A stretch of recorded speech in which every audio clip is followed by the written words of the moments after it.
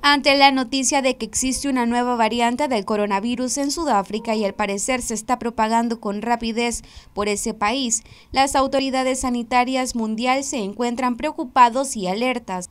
La Organización Mundial de la Salud calificó este viernes a la nueva variante del SARS-CoV-2 como de preocupación y le otorgó el nombre de Omicron. La entidad señaló que la variante hasta ahora conocida como B11529 tiene el potencial de expandirse por el mundo y parecer más contagiosa que las anteriores. Asimismo, explicó que la evidencia disponible hasta la fecha indica que Omicron puede tener un mayor potencial de contagiante.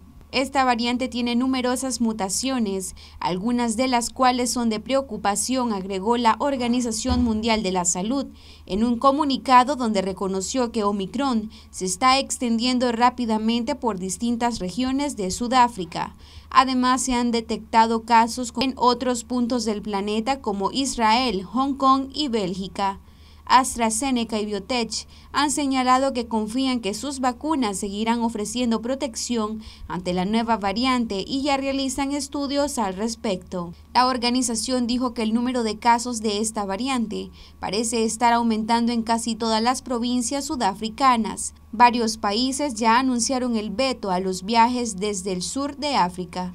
La última es la versión más mutada descubierta hasta ahora y tiene una lista tan larga de variaciones que un científico la describió como horrible mientras que otro dijo que es la peor variante que han visto, según reportó James Gallagher, corresponsal de salud de la BBC.